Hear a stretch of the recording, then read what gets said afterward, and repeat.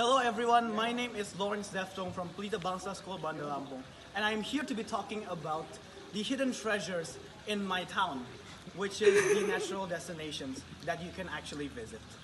Now we have a lot of natural de- destinations that can be visited. Beaches you can vi- visit, of course. You have a few parks you can take photos with, and then you actually have mountains you can also visit. You also have beach resorts that you can do a lot of activities there.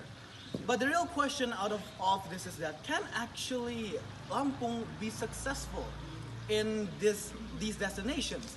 Now we have to think about a lot of factors and to actually understand why or not that Lampung will actually be successful, we need to think about a lot of stuff. To know this answer, you can come to LIA and look at my Pecha Kucha presentation there later in Sunday.